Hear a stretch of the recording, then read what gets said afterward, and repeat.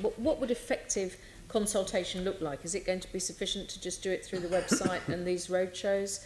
Um, and do you think that the proposals that have come out of MHCLG sound about right to you at this point, or do you think there's going to be lots of comments? I think there's a bit of a problem in that we've got different bits of government facing in different directions.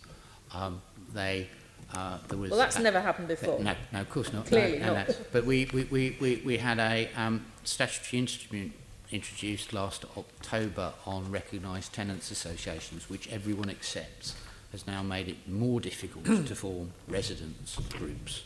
And we have this, uh, this uh, you know, the, the, the, the work of the building safety team saying we must engage more effectively with residents.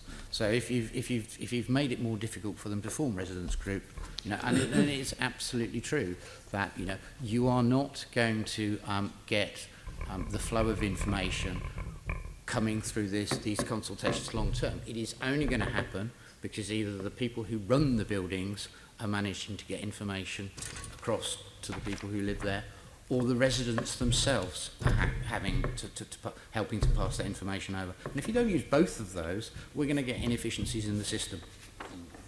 So can I ask you directly, what's your own view then of the proposals that have come out from MHCLG so far? Do you think they're any good?